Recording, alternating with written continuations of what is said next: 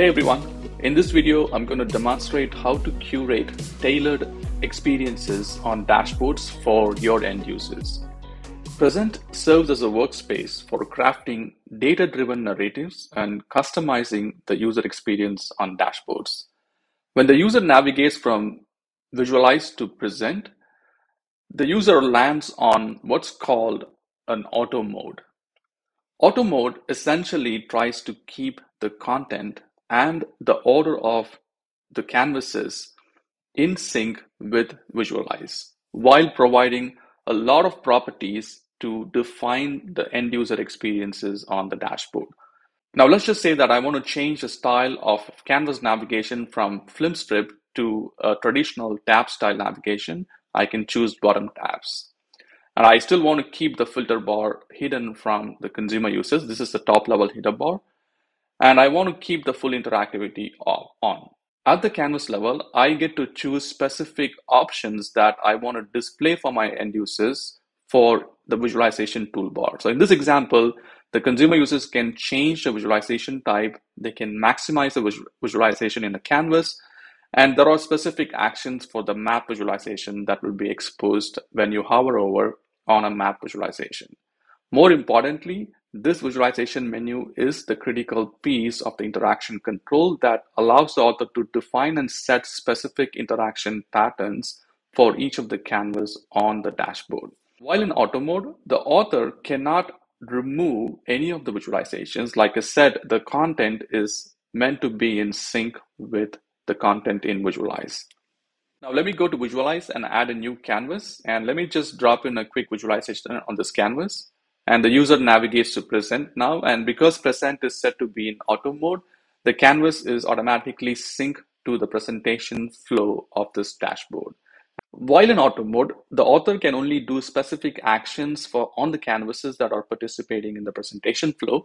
As you can see, this menu allows me to only hide the canvas. So let me go and hide this canvas. And as an author, I cannot change the order of the canvas in present because auto mode is trying to keep everything in sync with visualize. Now let me go ahead and save this dashboard and let's preview the dashboard as a consumer user would see.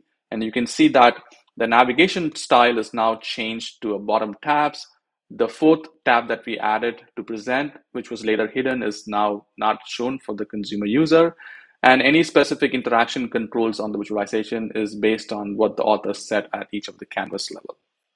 Now let's go back into the edit mode and look at what the author can do in manual mode of the present experience. So let me click on edit. User is in present. To change from auto to manual mode, user simply clicks on the button on the footer of the dashboard to change from auto to manual, at which point a warning is thrown to the user basically telling the user that uh, by changing to manual mode, the content is going to be out of sync with Visualize. So let's acknowledge with uh, hitting the OK.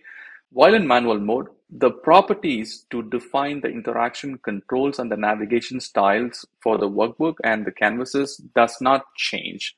So what's different in manual mode is the author can change the presentation flow of the dashboard for their end user experiences.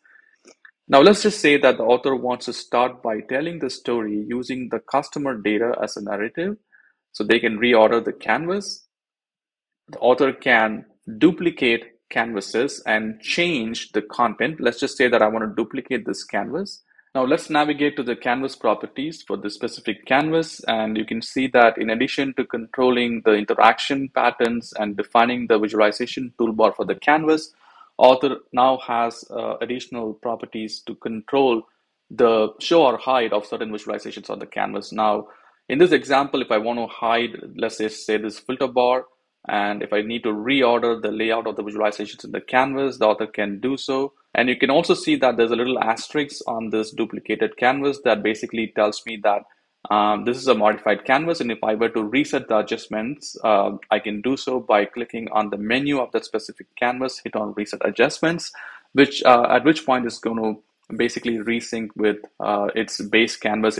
In addition to uh, duplicating canvases, author can also rename uh, the name of the canvas, provide a custom name. At any point, if the author wants to change from manual to auto mode, they can do so by clicking on the same button on the footer and uh, the warning message will basically tell the user that certain customizations that the author has done in manual mode will be overwritten and everything will now resync to the visualized content. Let's just click OK. So then the author goes back to auto mode and all of the canvases, the order of the canvases in the presentation layout, the content, everything is now resynced to visualize.